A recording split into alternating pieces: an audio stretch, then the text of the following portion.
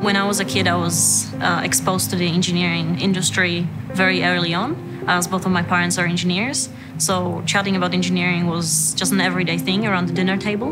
The biggest moment for me when I decided that I wanted to do civil engineering was growing up in Warsaw. All the projects that were going on currently in the city, but also the fact that the main square of Warsaw was 99% destroyed after the Second World War. How the people came together to rebuild the city, it really inspired me.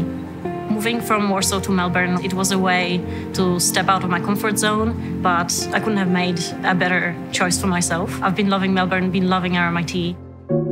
A few months back, a couple of amazing students, including myself, came up with an idea of starting the Females in RMIT Engineering Club, FIRE for short. As a co founder of FIRE, we created a club aimed at supporting women in education, in networking, in social and industry events. We're aiming at supporting, engaging, and empowering the female students at RMIT.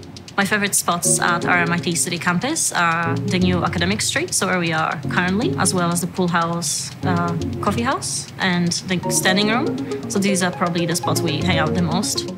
I'm currently working as uh, an undergraduate structural engineer at Robert Bird Group. So I'm, I'm working on structural design I've certainly enjoyed the consulting aspect of design as well as bringing structures into life. What's next for me is contributing in my grad program to the civil engineering industry, and I would also like to see what's going to be news with Fire in a couple of years.